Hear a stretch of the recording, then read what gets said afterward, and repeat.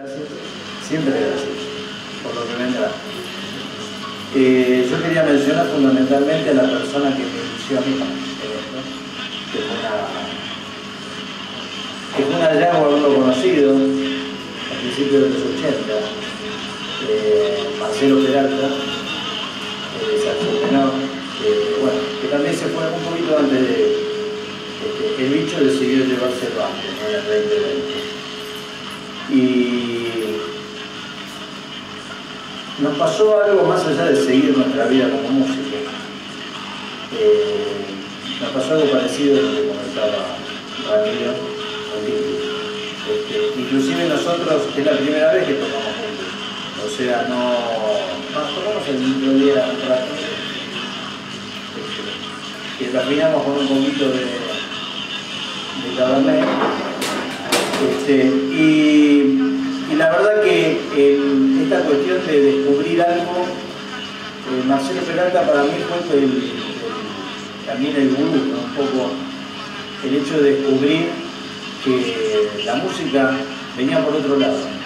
Más allá de todo lo que se hacía, de lo estándar y todo lo que tocamos y lo que tocó él, se fue Europa en el 96, hizo vida maravillosa allá, y que bueno, que realmente eh, sentíamos que teníamos que, que había otra libertad para hacer, que nos quería, que los solos, las improvisaciones, eh, nos querían decir otra cosa.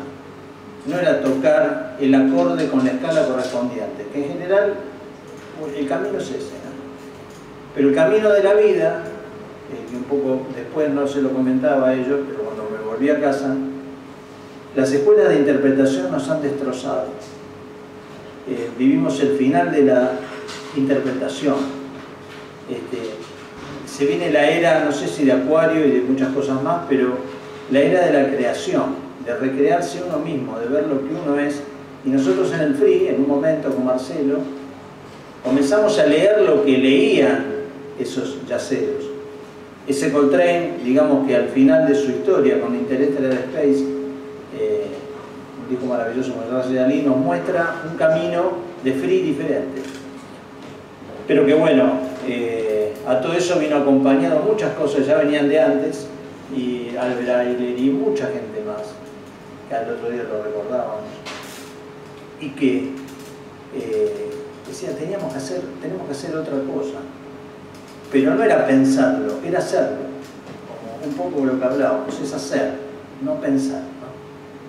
Eh, y bueno, el, agradecimiento también para él porque bueno, eh, estaría buenísimo que estuvieran acá los dos tocando con sus saxos. Este, eh, yo gracias a Marcelo dejé de tocar como guitarrista y eso fue un placer en un momento.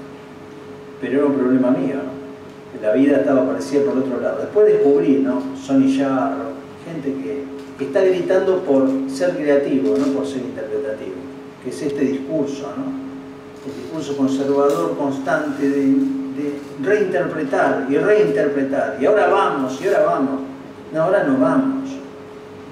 Ahora se tienen que ir, porque ahora hay que crear, no hay que interpretar. Entonces, eh, ese, ese camino tan maravilloso que nos puso en otro punto, a todos nosotros, ha hecho algo maravilloso de encontrarnos y de poder charlar de algo en otro lado, de otra manera, ni sabemos cómo, pero que lo disfrutamos muchísimo. Así que bueno, eh, gracias por todo, gracias por el libro, gracias por invitarnos, gracias por la invitación de Ramiro, gracias a todos ustedes. Y bueno, si alguno más quiere contar algo, eh, estamos, digamos, estamos recagados de contentos